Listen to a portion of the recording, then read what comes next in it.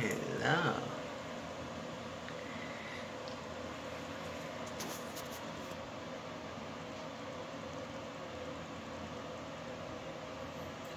See, I got hurt my finger on yesterday.